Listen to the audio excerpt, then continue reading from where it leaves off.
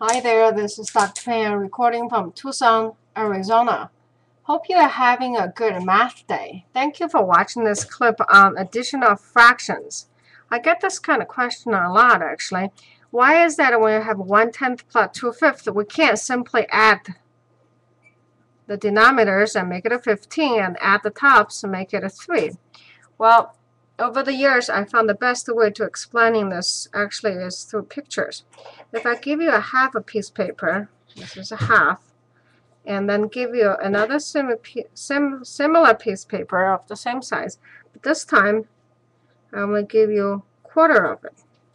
So you have a half of a half, which is quarter. Okay. Now, mathematically, if you were to piece those papers together, you would have the half, the first one I give you, you also would have the quarter I give you. Since this one looks like you have a 3 out of the 4, you can see that answer-wise it should be 3 over 4. This is not quite a whole one, but you're missing a quarter over here. That's missing. Okay, that's why you have 3 quarters. Now, mathematically it looks like half plus quarter is equal to 3 quarters. Now let's take a look at why we do that. Why do we insist on making that half into a quarter before we can, into a denominator of 4 before we can add? The reason is this, that the bottom number actually decide, decides how big the piece of paper is. Okay, for that reason, when we're doing addition on fractions, we insist the denominator to be the same i.e. we call it common denominators. And once we get it the same, we only simply add the top. Otherwise, you end up adding apples and oranges. You don't have two apples and you don't have two oranges. You have neither.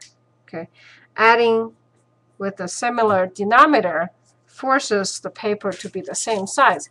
So graphically what's happening here is we actually said, look, we have two quarters here and plus 1 quarter, we should have 3 quarters. Now looking at the problem that we started with, we have 1 over 10 plus 2 over 5.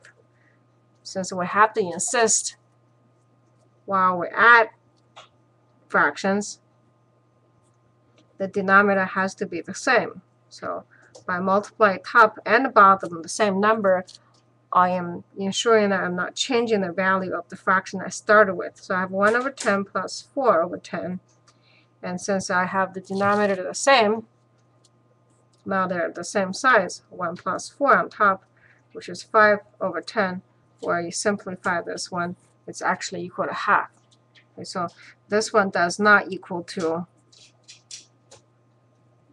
3 over 15. You can't add to a fraction that does not have the same denominators, does not have the same size, where one is apple, one is orange. Make all of them the same apple or same orange. Alright, that's how we handle additional fractions. Once again, from Tucson, Arizona, this is Dr. Pan.